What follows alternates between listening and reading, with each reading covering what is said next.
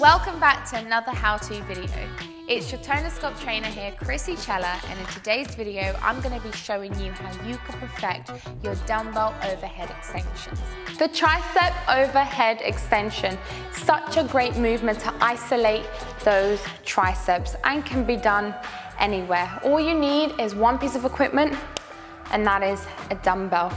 Now, what I want you to do is you can do the standing and or kneeling. The difference is when you're kneeling, you're just adding a bit more stabilization.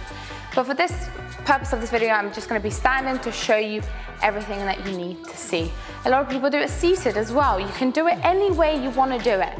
There is no wrong way to do it, in all honesty. Kneeling, seated, or standing, it's honestly up to you. All I would say though is when you're kneeling and seated, there is so much more stabilization.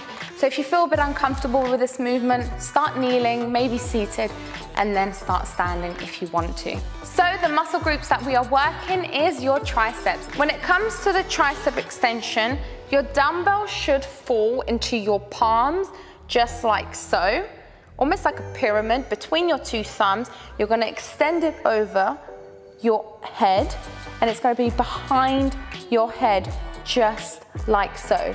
Your elbows do not and should not be flared out. You wanna tuck those bad boys in. I don't wanna be seeing this, I wanna be seeing this. Tuck them in and push the weight back behind your head. You don't wanna bring it forward, you're gonna hit your head and you're gonna cause an injury. So remember, no flaring and no forwardness. You wanna keep everything nice and tight. Your core needs to be engaged at all times and chest upright. Also, you can bring one foot forward just to give you a little bit more stabilization, just like so. Bending at the knees just slightly, but you don't wanna obviously use your knees for too much support. So let's put everything I just taught you into one big pot. Flip the weight.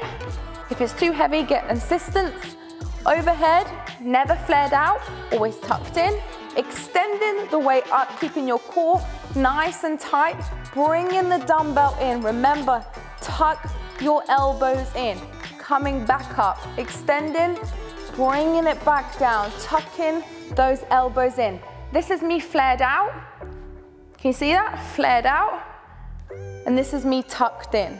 It's gonna be so much more difficult. Ooh, feeling that.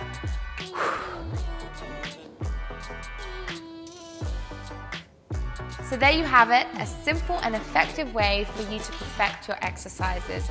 Remember what I've always, always taught you, do not overcomplicate things.